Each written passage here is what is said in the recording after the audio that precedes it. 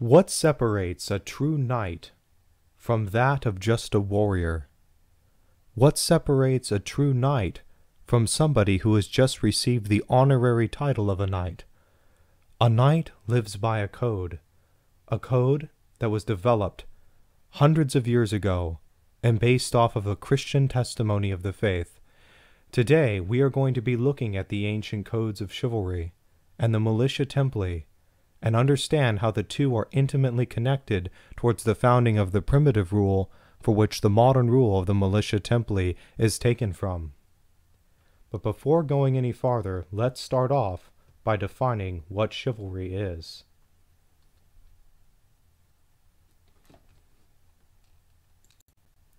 Chivalry is only a name for that general spirit which disposes men to heroic actions and keeps them conversant with all that is beautiful and sublime in the intellectual and moral world. That is taken from Kenelm Henry Digby, The Broadstone of Honor. He was a Catholic historian from the 1800s. I believe he was a convert to the Catholic faith from Anglicanism during the Romantic period. Uh, this was a time of great rediscovery of the spirit of chivalry, uh, as a reaction to the excesses of the French Revolution, which were so bloody and horrified most of Europe. Uh, so we can see from this that knightly or chivalrous behavior encompasses then not just how we treat our neighbors, but also the manner in which our duties are executed. So it is a spirit that stays within us and wants us to be connected to everything that is good and wholesome in the entire world. Most of the time, though, when somebody says to us, well, um, you know, he's not very chivalrous or that man is very chivalrous, it is almost always connected to a person's individual uh, courtesiness, especially towards a, a member of the opposite sex. If you've ever seen a woman shunned before, you'll hear her make a remark like, well, I guess chivalry is dead. Um, but uh, that is a very narrow and actually courteous behavior for chivalry is so far down the line in the codes of chivalry, the ancient codes of chivalry, uh, but nevertheless, uh, that's what it's become today. And it's also somewhat, chivalry is almost disparaged as the uh, rise of feminism and other things have brought about um, a very difficult to deal with member of the opposite sex. Oftentimes, you see men who treat the fairer sex with kindness or, or courtesy uh, disparaged as white knights or white knighting, or sometimes the excessive behavior or courtesy, even to the point of madness, is described as chivalry, almost like a, uh, a Dudley Do Right or a Don Quixote, but of marching valiantly off into being uh, mistreated by uh, the fairer sex. Uh, but chivalry, really, in its fullest view, is the religious, moral, and social code that govern the actions of knights and nobles. Now, every single person can live by a rule or a code, and we certainly know that our Lord instructs us to do so. So every Christian lives by a code.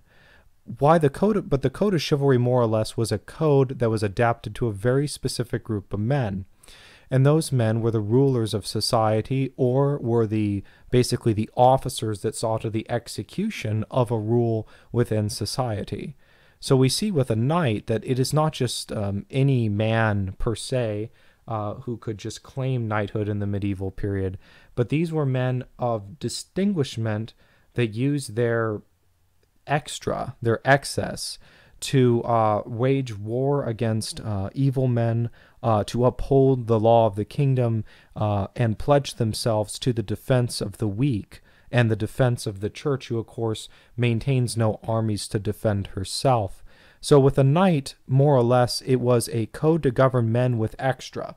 Now, there are exceptions to the rule, men knighted on the battlefield and so forth for distinguished uh, heroism who were not nobility and you can also and and there are many exceptions in terms of people being made knights more for violence or namesake or uh, anything else that was not related to being good and holy but just being an ambitious man. But that is its fullest view is the uh, code of behavior for men arguably with extra or assigned to a specific duty that gave them authority over others So nowadays, there's lots of knights movements. You see this everywhere, and I mean, there's a, a there's a lore about knighthood that I think most men find extremely attractive, and there's a nostalgia for the period. It seems like a simpler time.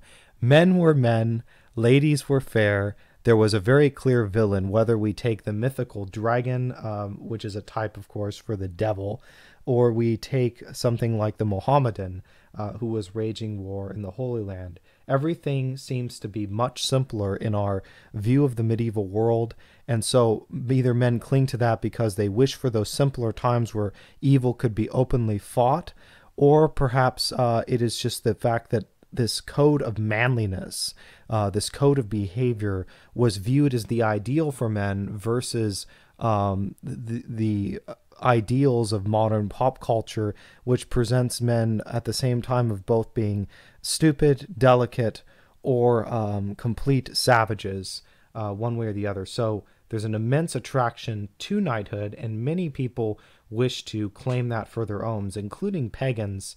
Uh, you definitely see a lot of pagan groups uh, try to make up some type of knighthood that exists out there. And then even within the church, you have many groups uh, either they have historic ties, like the Knights of the Holy Sepulchre, or uh, modern inventions like the Knights of Columbus. But there's a tremendous attraction to the idea of knighthood. So, what is the difference between being attracted to knighthood with the idea of living by the ideals of knighthood, or just kind of having a nostalgia for the period? So, in the Militia Templi, we embrace a code of life found both in the rule and the code of chivalry. And the code of chivalry is kind of a, a, a, hazy fog because it wasn't like at some point somebody wrote down and said, This is the code of chivalry that everybody is going to live by. There were many written down, but we're going to see by looking at a few of them how much overlapping there was between these ideas and chivalry. And then those overlapping ideas will say, Is the code of chivalry. Our way of living has real obligations and will require sacrifices and changes to a person's way of living. Uh, a nostalgic view of the knighthood becomes enamored with the particulars of historic knights, such as horseback riding and jousting, the historic weapons of knights, swords, lances, shields, the study of the training and fighting systems used historically. And so I think as a novice, as you discern your vocation with the militia templi, um, or maybe you're seeing this and you are discerning it right now, ask yourself what attracts you immensely to the knighthood. Is it something that you want to quest for virtue? You want to live out a code of life? You want it to change your behavior and your way you live practically? Uh, that means making more time for prayer, more time for service, and also enduring um, the training of both your intellectual and moral life specifically, a harder training perhaps than what is required of a, a normal layman, although we are all required to pursue perfection? Or is it a, really a desire to do living history, like reenacting, or uh, maybe you know to study uh, intensely uh, the period of medieval history uh, as a form of pleasurable entertainment? So none of these things are bad. I mean, horseback riding and jousting. Although I did want to mention that at one point the church did uh, pretty much condemn jousting, and of course our Holy Father Saint Bernard uh, used to be just uh, in his life. You'll see him hating men going off to the wasteful time of jousting, uh, but none of them are provided by our order, uh, the Militia Templi. Um, if if you were also to choose to pursue any of these more historical ideas of, of chivalry or, or knighthood, um, that's a significant time of, of uh, money um, and time. And it could be even bad. It could interfere with your ability to give practical service to the church today. So, do we want to pursue? Do we want to try to live by knighthood, or are we just being nostalgic? So, we see this in the um, the decree promulgating our rule of life. Uh, we see this in the letter. It says a rule had to be dictated also for the new order of the poor knights of Christ of the reborn militia templi, and our general chapter has unanimously approved its text based on the old rule. Uh, the old rule is, of course, alluding to the ancient rule of the Templars, adapted to today's requirements at the aims of a modern Christian testimony through the ideals of knighthood. And then, of course, in the rule itself, it says, finally, referring to a novice, uh, his knightly formation shall be seen to, teaching him the history of chivalry and its true ideals, which we aim to do in this presentation to start to talk about the true ideals of knighthood. So we see here that our goal is not an authentic um, living history, um, nor is it first and foremost the formation of a paramilitary group dedicated to training at arms. Our first and foremost reason for studying chivalry is to, through its ideals, provide men a framework for a modern Christian testimony. So when we're if you, people talk about their spirituality, in the church, you know, and you have Dominicans, Carmelites, all these other groups within the church. Uh, we have also, in addition to the entire patrimony of the church, but we study in particular our own rule of life and the codes that govern the behavior of ancient men at arms, but as a tool to provide us the means to do uh, um, a modern Christian testimony in front of other men and all of human humankind or mankind. So, what is practical chivalry then? That's what we're all about practical chivalry. Uh, the militia Templi aims to provide is a spiritual and intellectual formation in the ideals of knighthood. This instruction leads to men willing to dedicate their lives to fight without respite for the rights of God and Christianity, that's in the rule, by their commitment to a life of prayer and work in their apostolate. This then allows them to become knights in deed more than in word, with the association of other brothers bound to the same ideals under the watchful guidance of Holy Mother the Church. And I wanted to add to that any type of knighthood that tries to remove itself from dedication to the Christian faith really is not knighthood at all. It certainly isn't governed by the code of chivalry. It certainly isn't rooted in anything other than um, the ideal of this kind of Levitic, you know, noblemen have the right to elect certain men to be awesome above other men. Uh, when in reality, knighthood is at first and foremost concerned with being a servant to the rights of the church and the rights of widows and orphans. We will see. So let's start off with one of the most ancient texts, which um, more or less within the text itself had in it a code of chivalry. So this wasn't spelled out like in a list. There was no blog post back in the uh, 700s that said, uh, you know, top 17 things that make you a good knight.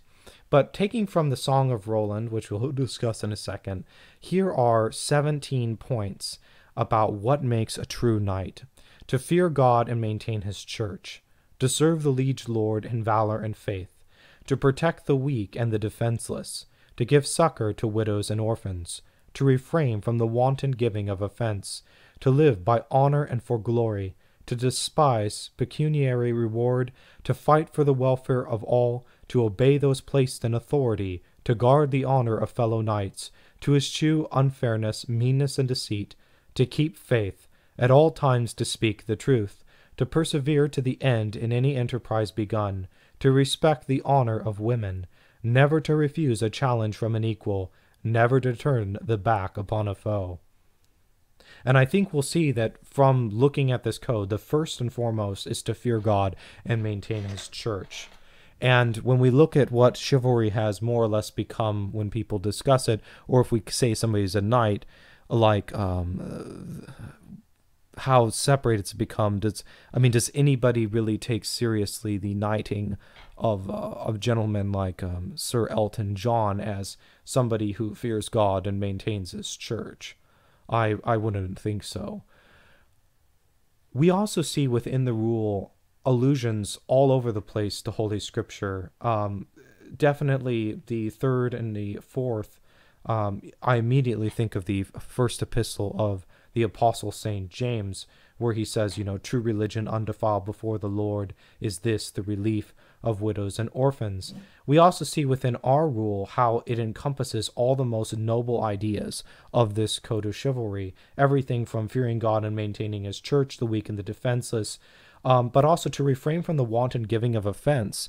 Uh, we say in it that we never reser- uh, return insults and slander if somebody insi- insults us. Uh, to despise rewards, our very motto, no nobis domine no nobis, you know, we do not do the good works, hopefully, the, we do not engage in our apostolates for the church. We do not live for virtue in the hopes of receiving honors, money, or attention, that we do so in, in quietness and humility um, to obey those placed in authority. All over the rule, it discusses the importance of obeying um, the superiors of the order, the Grand Master, uh, the bishops within a diocese, and so on and so forth. All of these could be found more or less within our rule of life. So, what is the Song of Roland? Um, so, Roland was a uh, was the nephew of Charlemagne, the Holy Roman Emperor, um, but uh, he was the embodiment of chivalry. So, I mean, he, his his epic poem was written in the 700s, but it was still being read by knights in the 1400s. Um, he was it. He was the man's man. You know, we love our modern movies of you know the hero who uh, fights it out into the bitter end, and that was Roland. That was the epic story of Roland, a man who was surrounded at all odds. His last act is literally killing an enemy who feigned being dead before commending his soul to God's mercy. Um, anyway, so the uh, his story is told in the epic poem, "The Song of Roland," which is all written in poetic verse.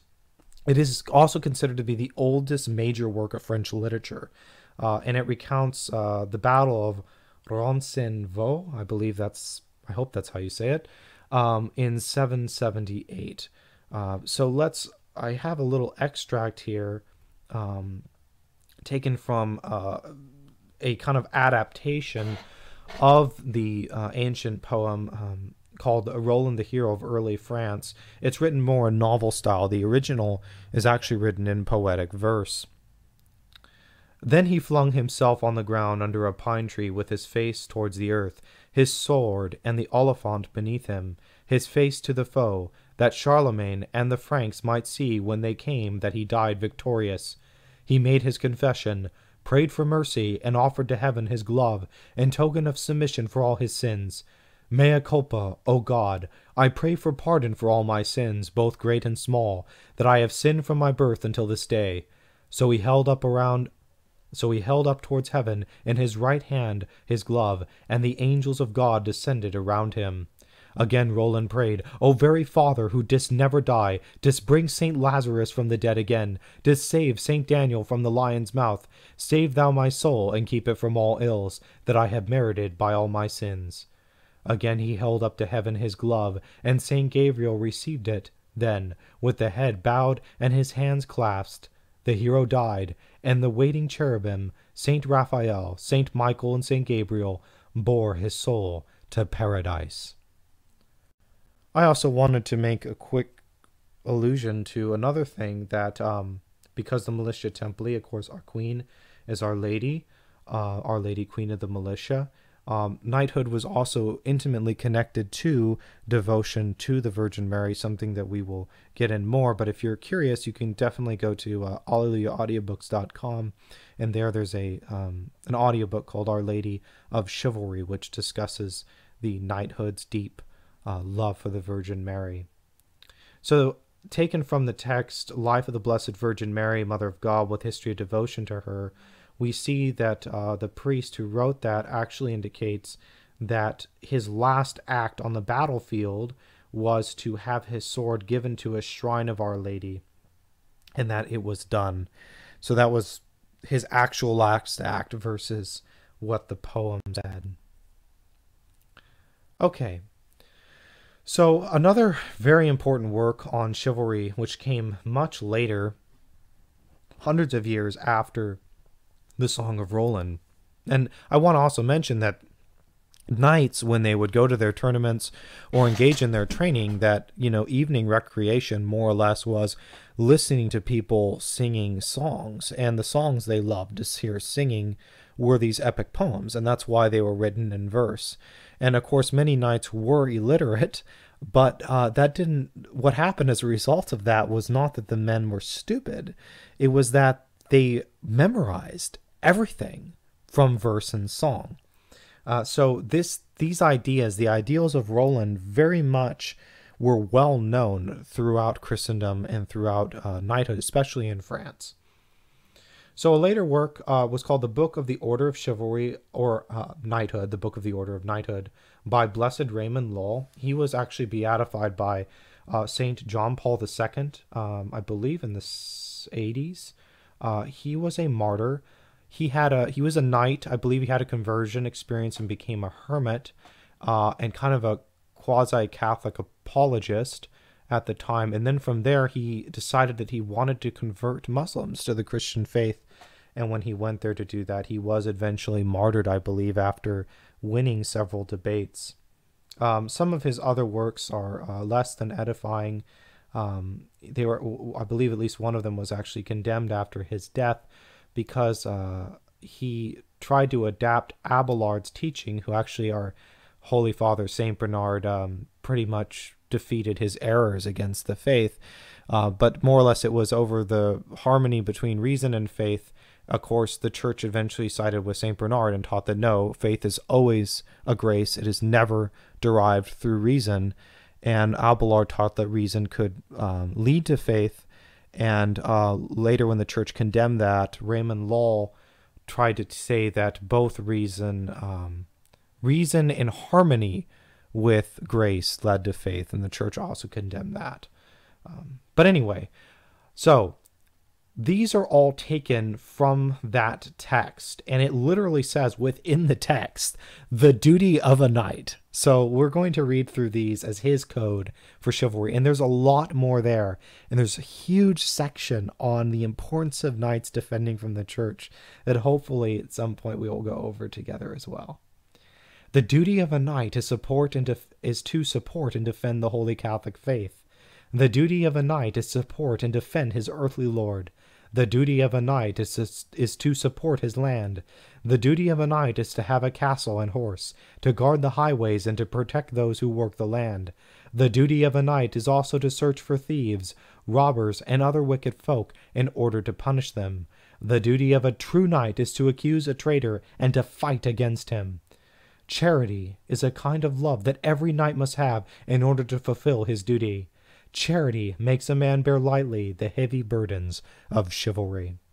I wanted to add that last one. He actually goes over how all the theological virtues help a knight. And one of the neat things about the Book of the Order of Chivalry of Knighthood, uh, or of Knighthood by Blessed Raymond Lull, is the fact that at this point in history, knighthood had more or less become absolutely corrupted. It probably always had problems because we've always been afflicted with original sin. But during the high medieval period, it wasn't like knights, the majority of knights were virtuous men. In fact, the majority of knights probably were not virtuous men at all. Uh, in fact, this is very important to understanding the founding of the uh, ancient order, the Knights Templar, as a uh, is something to try to be live out the true code of chivalry versus this very worldly, opulent, uh, even evil code that instead of relieving widows, um, injured them constantly. So we definitely will take a look. I hope we will take a look at the Book of the Order of Chivalry later. And he was trying to spell out in his work, he was trying to admonish knights to remind them of his true duties. And we also see, once again, there's this harmony between supporting the Holy Catholic faith, though, also, and we constantly see, you know, defend your liege lord, defend your land, and so forth. And that was re- referring to that martial aspect of knighthood.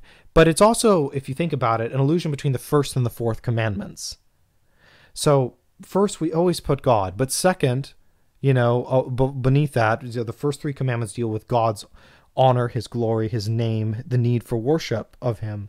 But immediately the fourth one is, you know, honor thy mother and thy father. And any text of moral theology will more or less tell you that that extends way beyond just our paternal parents. That extends upon to our nations. That extends upon to our elected leaders. That extends upon our bosses in employment. And a knight is going to be first and foremost, right after loving God, is going to love these men. Play he's who are placed above him in a, an authority, including his country. And it doesn't say the duty of a knight is to support his and defend his earthly lord if he likes him. Obviously, we would never do anything evil, but a deep sense of love of country and patriotism is always going to be a part of, you know, the knighthood. I also wanted to add this last one here because it was alluded to in the Song of Roland. It it says to live by honor and for glory. And there's another work, which uh, it's another French work, I believe, um, the Theatre des Honneurs et des Chivalries. I hope. Um, this is an excerpt translated in uh, The Broadstone of Honor by Digby. The true point of honor, on which our renown must depend, is the being a good man, and that is and that is the true natural honor.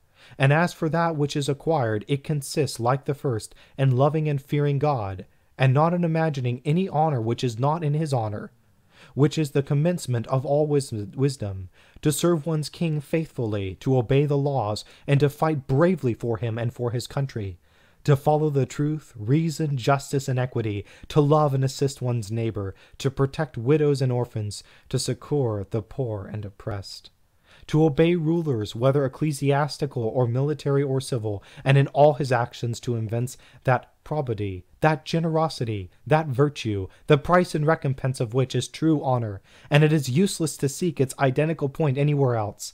And if we wish to rise still higher above these precepts, we must imitate Jesus Christ our Savior in forgiving our enemies, and then we shall possess not only the true temporal honor, but also that which is heavenly and eternal. And to add to that, the rule of the militia templi adds that we always, we always pray and we always love our enemies. It is a duty. It is explicitly mentioned. It is explicitly taken from um, the uh, ancient rule. Is explicitly, of course, our ancient rule taken from the rule of Saint Benedict, and of course, it is explicitly a Christian idea taken from the gospel. And so we see here that knighthood while it is definitely we always vision knights as destroying evil men or stopping evil men.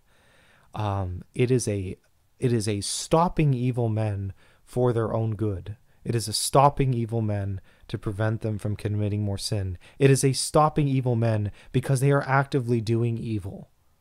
Um, and that but it is always done with the idea of love of our enemies and we always pray for them and hope they are converted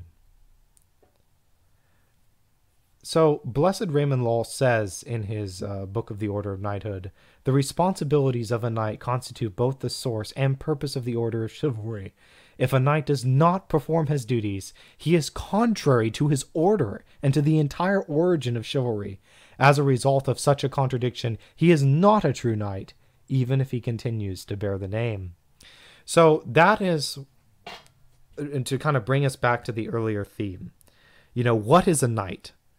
Uh, Digby says more or less that it's this love of the uh, you know whatever is beautiful and and and it's a spirit that rests within men. And so we more or less see what a man's spirit is by how he chooses to live. But i think any group that takes upon itself the name of knighthood uh, whether that's the knights of columbus or the holy sepulchre or the militia templi people are going to judge it based on probably one of three ways of looking at it. It's first and foremost uh, what we aim for. They are true knights of virtue, they are true men of great conduct. And the second that they might look at another group, if the men were not of true or great conduct, is it is a honor bestowed upon them because of their relationship, their hereditary, uh, to some ancient noble or something that's bestowed on them as an honor from a king or maybe a bishop. So somebody else has deigned to say this man is great for whatever. And of course, it injures all men who call themselves a knight whenever uh, somebody who does not live an upright life receives the title of knight, whether it's that in our order or whether it's somebody like Elton John of England. It, it makes the whole thing seem silly and a laughing stock when a man does not live by virtue, even if that. And the third, of course, is living history. Do they study at arms? Do they are they real warriors? And I want, but I to emphasize, a man can be a great warrior and not be a knight at all. And uh, and that has been with us since the ancient times before knighthood even existed. It's been in pagan cultures as well. There was a difference between obviously a samurai and just a Ronin bandit.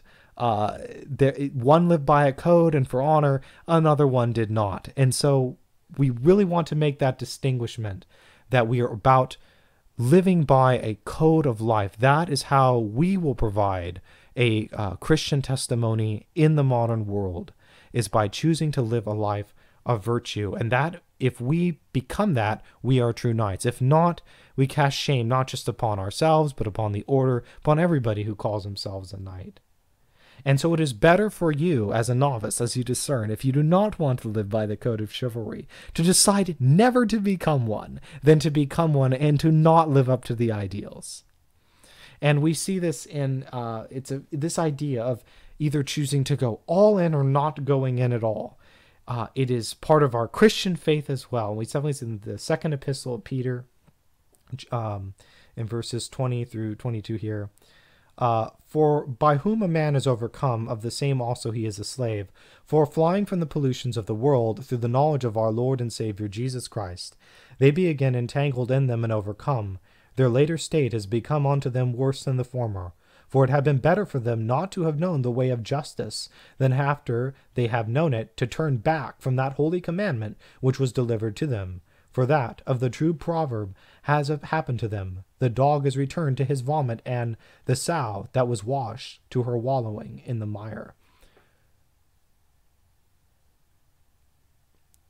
And then I, to go back to it, I already alluded to it, but we see here that the aims of modern Christian testimony through the ideals of knighthood. We must fully embrace this way of life. And I alluded earlier that unlike just receiving an honorary title, unlike starting to study how to use broadswords, unlike just training to be a man of combat, you know, of actual physical martial combat, we change our lives to become a knight is to, in the Militia Templi, is to be converted into a very specific way of living. And that is a way of sacrifice. And that sacrifice is manifested in the daily recitation of the divine office, in the regular and consistent pursuit of an apostolate at the service of the church, and to a bold Christian testimony before all men as our, our fourth vow, our fourth promise makes us do. And that by doing this daily, we walk the walk rather than talking the talk about being true knights. And that way we can actually have that noble spirit that maybe we do not receive recompense before men, nor do we desire recompense before men. As our, you know, uh, battle cry says, non nobis domine non nobis, but that we may obtain to the true crown in the kingdom of heaven, to become truly poor knights of Christ and recognized as such in the kingdom of heaven when we die. And so, um, you know, your novice masters, whoever you are, or uh, in, maybe you're not even a member and you're pursuing this, it is their obligation to test you. And we see this, you know, with Blessed Raymond Lull, because they have to uphold the honor of the the order, the honor of the brotherhood, the honor of chivalry as a whole.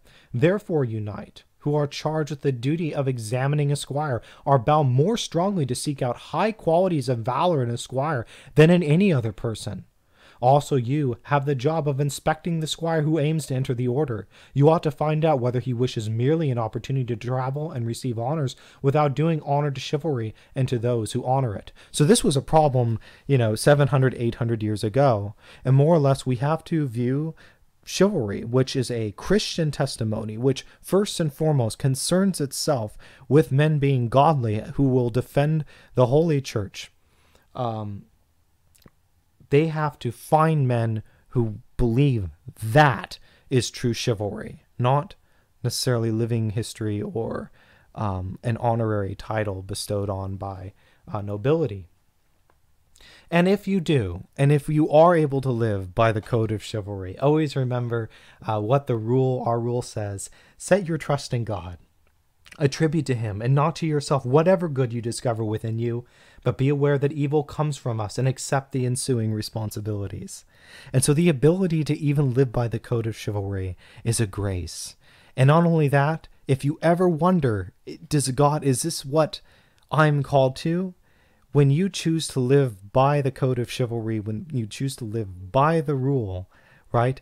God gives you the grace if you're called to it to do it. He will help you, He will uh, guide you through it. And that is part of the process of discernment. Now, no one we there are six precepts of the church and 10 commandments of God. If you wish as our Lord says, you know, if you wish to have eternal life, keep the commandments. And if a Catholic keeps the commandments, uh, fulfills the precepts of the church, frequents the sacraments, and does his best as a layman, he can, you know, go to heaven and so forth. But to those who have received the call from God uh, to pursue right and be perfect, as he also tells us, be perfect, and feels the call to knighthood, and feels the call to live out the code of chivalry, one takes upon themselves not just the six precepts of the church, but 17 additional precepts, all of which are taken from the gospel. And our rule, right, if you join to join our brotherhood, our rule, which I believe is 23 pages, uh, additional. Now, all of it's taken from the gospel, all of that, but we must cling to it. And the way we could live before as a layman is no longer open to us after we take upon the commitment of knighthood. And so, with that, uh, let us grab our sword, the sword of the gospel, and thrust it in at ourselves and do violence to ourselves so that we can cut out from us anything that obstructs that chivalric virtue which gives a honorable testimony to the Christian faith and will please our forefathers from the past. That today, even though we are not trained from, you know, childhood to be men at arms to defend or to go to war in the Holy Land or to destroy bandits or other people who invade our lands, uh, but that we can provide a strong and faithful testimony to the Christian faith and be, be virtuous and be by that virtue, prepared to do anything in the service of God's church in its defense, whether that is with uh, a testimony through our uh, words or being an, an, apologist for the faith, or even with our blood, uh, if one day we are called to martyrdom in the increase, incre- increasingly hostile anti Christian environment that is becoming the West. So do not lose heart, then, my brother, in pursuing your spiritual life. There is yet time, and your hour is not past. Why delay your purpose? Arise, begin at once, and say, Now is the time to act. Now is the time to fight. Now is the proper time to amend. That's taken from the Imitation of Christ, Book 1, Chapter 22. And so, with that, thank you very much for watching this primer on uh, the Code of Chivalry, where it comes from, and I hope that you got something else uh, out of it. May Our Lady, Queen of the Militia Templi, and the Christ Child bless you abundantly during this time, and may God grant you eternal life. Amen.